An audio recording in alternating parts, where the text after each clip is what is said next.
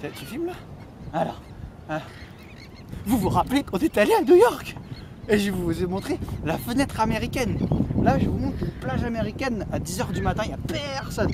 Regardez, regardez, c'est magnifique.